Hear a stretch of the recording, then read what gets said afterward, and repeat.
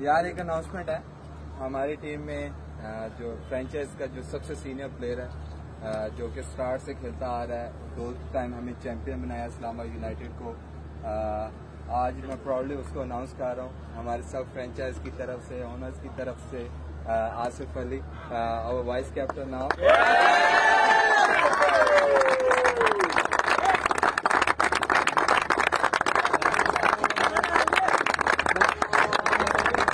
will give you a speech as well. As a speech, Now he will give you, as a speech. now he will give you a speech as well in English as well. I'll translate it. Thank you भाई Speech देनी है.